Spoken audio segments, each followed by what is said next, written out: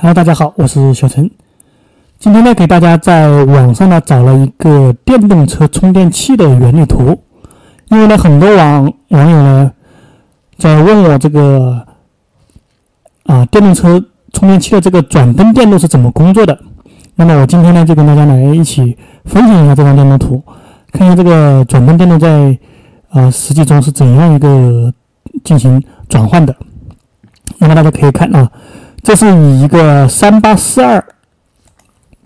啊为电源管理芯片的开关电源图，那么这就是一个通常我们嗯见过很多的这个电动车充电器啊，这个位置接蓄电池啊，然后它这两个充电灯的位置在这里啊，一个是 LED 一，一个是 LED 二啊，那么这个 LED 一呢，就是代表充电的时候亮起，那个 LED 二呢，就是一个电源指示灯，代表这个充电的时候不亮。啊，不充电的时候亮啊。那么我们就来看一下这个电路是怎么工作的啊。嗯，那么这个电路呢，我们今天呢从这个呃结果往过程分析啊。什么叫从结果往嗯过程分析呢？我们呢就来从这个灯啊，这个充电灯啊，我们首先说充电的情况啊，就说这个从这个充电灯亮起的必要条件，我们往前面分析啊。这样的分析大家就容易明白一些啊。好，我们首先讲这个充电的过程啊。那么这个充电灯要亮呢，大家可以看到这个电路图啊，这是一个发光二极管，它的阴极接地，阳极接到这个二极管的发射呃三极管的发射极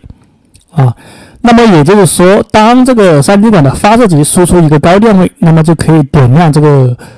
呃 LED 灯啊，这个发光二极管。那么我们再看啊。这个三极管的发射极要有电压，那么它的极电极就要有供电。那么大家也可以看这个极电极，通过一个电阻线流直接加到这个这里啊，这里已经标注了是一个十二伏。好，那么这个供电有了，我们再看这个控制。那么也就是说，当这个三极管要导通，把这个极电极的电压导通到发射极上面的话，那么机极就要有一个控制电压。那么由于这个三极管是一个 NPN 的三极管啊，NPN 的三极管，那么它就是一个高电位导通啊，就是说这个积极电压要是一个高电压啊，高电平，那么它才能导通。那么我们再来看一下这个高电平怎么来。好，我们可以看到这边来通过一个电阻啊，上面还有一个 R 十七一个电阻。那么我们可以看这边是接到这个十二伏啊，那么也就是说正常的情况下啊。我们假如说没有下面这个电路的话啊，啊，没有这边这个电路的话，哎，那么就是这个十二伏通过这两个电阻，一个分压偏置分压分到这个积极，那么这个三极管正常导通，这个灯正常亮。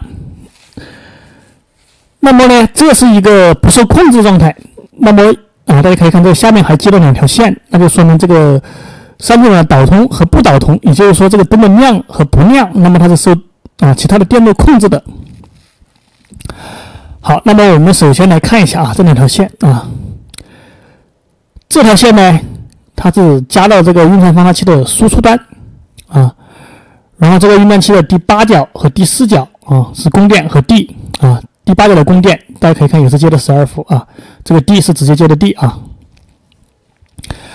那么我们在想啊，这里在不受控制的话，应该就是一个高电位啊。那么在它不亮的时候呢，那么这里肯定就会输出一个低电位，那也就是说，这个灯的亮和不亮实际上是受啊这个运算放大器控制的啊。那么我们现在要这个灯亮，就要这个第一角输出一个高电位。那么这个运算放大器要输出高电位的话啊，就一个条件，就是同向输入端大于反向输入端的输入电压。那么我们再往后看啊，我们首先看这个反向输入端它是多少伏呢？这里一个电路啊，这是从十二伏直接接过来啊，接到这个二极管的正极啊，这是普通二极管啊。然后这个二极管的负极是接地，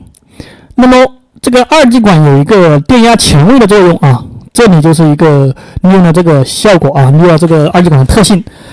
假如说这个二极管的导通电压是零点七伏啊，假如说零点七伏，那么它就会把这个二极管两端，也就是这一点。啊，对地的这一点啊，这个电压前位在零点七伏。那么由于这边呢又有两个电阻，刚好这个电阻是一个十比一的比例啊。那么就说这里是零点七伏，这里是零伏，而这两个电阻以一个十比一的比例在这里对这个零点七伏进行一个串联分压，那么在这里呢就会分了一个啊零点零七伏的电压啊。大家可以去算一下这个串联分压这个公式，去算一下这一点电压啊。嗯，具体怎么算呢？我这里就不说啊。那就说这里由于这个二极管它的这个嗯导通电压是非常稳定的啊。它比这个稳压二极管的稳压这个值还非常还要稳定啊，那么所以说这个零点七伏非常稳定啊，这个零点零七伏呢就也是非常稳定啊。这里为什么用一个这个二极管来前位呢？嗯，因为第一是这个电压稳压呢比较低，第二呢是这个呃二极管的一个正向导通电压是非常非常稳定的啊。我刚刚说过，像这个十二伏从这里啊通过这个线流电阻输过来的话。啊，这边随便多少伏，五伏、十伏、八伏、九伏，这里都能稳定的前后在零点七伏，一点变化都没有。所以说这个零点零七伏是稳定的啊。那么这个零点零七伏呢，分了两路啊，一路加到这个运算放大器的反向输入端，还一路加到这个运算放大器的同向输入端。其实这个零点零七伏呢，是作为这两个运算放大器的一个呃参考电压，也就是说这个另外一个角呢。以这个为例的话，就是同向端和它进行比较，这个呢就是反向端反向端同对它进行比较，而控制输出是高电位还是低电位。好，那么我们来看啊，这里我刚才说了，要输出高电位的话啊，那么这里是零点零七伏，也就是说这个第三角啊，同向端大于反向端才会输出高电位，也就是说第三角的电压要大于零点零七伏，那么这个一角就会输出一个接近于电源电压的啊高电位。那么这里输出高电位啊，这里就会导通，这灯就会亮。那么我们看这个第三角的电压怎么来呢？它怎么才能产生一个高电压呢？好，我们来跟着灯灯看啊，这里有个电阻线流，那么就接到这个充电器的这个插头这里啊，这个插头是插电池的啊。那么大家知道这个电池啊，嗯，和电容啊是比较像的啊，这个。电容之前我讲过啊，没有充电的话，它是相当于一根导线啊，也就是说这个电池没有电没有充饱和的话，它是有内阻啊，有阻值的，你可以这么想啊。那么也就是说，当这个充电器啊插到这个电池上面，那么相当于这里接了一个电阻啊，那么有一个电阻的话，那么这里啊下面还有一个电阻进行一个电流取样，那么当这个。有一个电阻的话，这个电路就会产生电流，那么这个电流呢就会在这个电阻上啊产生一个电压，这个电压呢再通过这个 R 二八啊加到这个第三角啊，那么也就是说，当这个电阻，当这个电池的电量越小，它的内阻就越小，内阻越小的话，它的电流就越大，那么电流越大啊，这个电阻是固定的，那么在这里产生的电压就会越高，那么当它远远大于零点零七零点七零七伏的话，那么这里就会输出一个高电位。那么输出高电位的话，就会点亮啊，导导首先是导通这个三极管，这个三极管再点亮这个发光二极管。那么这就是一个充电指示灯亮的一个过程。那么也就是说，当这个主主这个主回路啊接上电瓶的话，它就构成回路啊，因为你不接电瓶的话，这两边是开路的。你接上电瓶呢，电瓶没有充电了，或者是电量不够的话，它是相当于一个。电阻嘛，那边有有阻值嘛，相当于一个，你也可以想到想象一个其他的负载接在这里嘛，啊，负载是有阻值的嘛，是是会消耗电能、消耗电流的嘛，那么从这里流过来就会有电流，这里电流呢就会增加啊，电阻越小，电流就越大嘛，这个欧姆定律嘛，电压是一定的话，电阻越小，电流就越大啊，电流越大，肯定电压就越高啊，也是欧姆定律嘛，因为这个电阻不变嘛，这个电阻不变嘛，假如电流越大的话，电压等于。电流乘以电阻嘛，电阻不变，电流越大，所以说电压就越大嘛。电压越大的话，这个第三角的电压只要大于零点零七伏，那么就会使这个灯亮。那么当这个电瓶充的满了之后，它就会相当于一个开路状态，这个地方都没有电流了，那么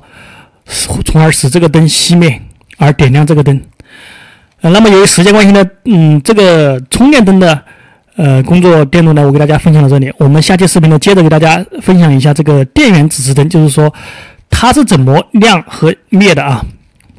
我们下期视频给大家分享好。那么本期视频就给大家拍到这里，我是小陈，我们下期再见。谢谢大家。